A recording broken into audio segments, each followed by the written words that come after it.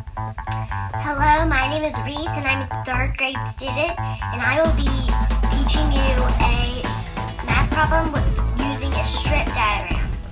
Okay. Miss Fisk went to the store on Monday. Monday.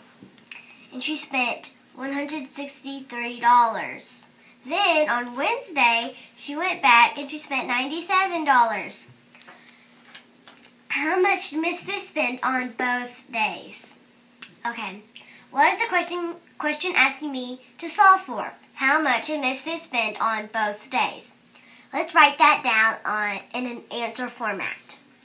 Miss Fisk spent blank on both days. Okay. So let's draw our strip diagram. So let's make this. So this is Monday. This is Wednesday.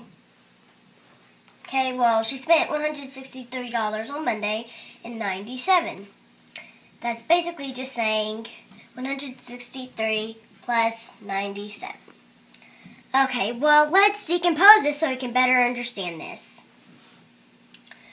163, well, that decomposed is 100 plus 60 plus 3. Put that in the parentheses. Then 97, that is 90 plus 7. Put that also in the parentheses. Well, I don't see any hundreds in, in, in 97. Well, I'm just going to put that down. And I'm not going to put it in the parentheses because it's only one. Well, I see 60 and 90. 60 plus 90. I'm going to put this in parentheses because it's 2. Then I see 3 and 7. 3 plus 7. Okay, well, that's 100. That's 150. And this is 10. 100. Here.